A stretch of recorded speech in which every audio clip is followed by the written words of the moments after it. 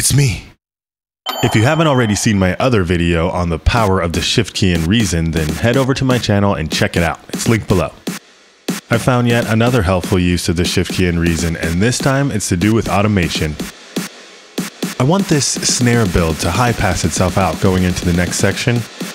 You can see that this high pass is already set to 150 Hz, the level I used to mix this track in, but we want it to sweep higher as the drums get faster. I can alt click the frequency parameter, locate the automation track, and double click and drag to make a region.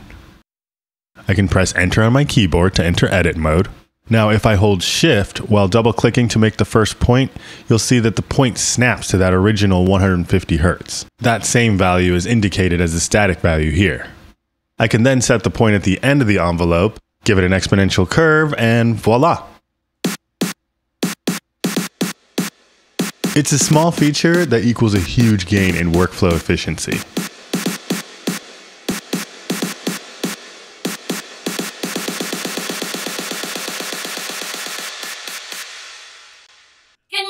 Another use for this feature is when you want to write automation a bit more efficiently.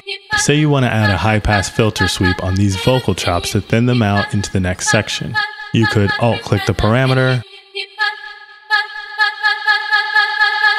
make a region, and draw a curve. The problem with this approach is that you end up hunting around to find the final value.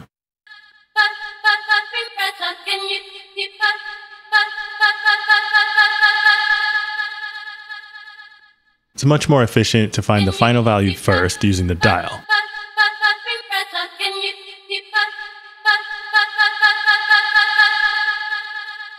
You can then alt click, create your region,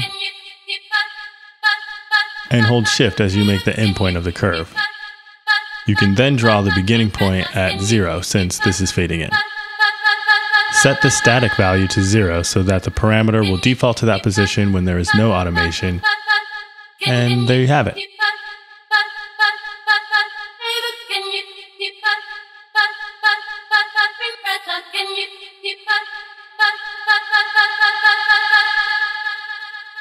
Thanks for watching and subscribe for more Reason, Ableton, and general music production tips. Thanks.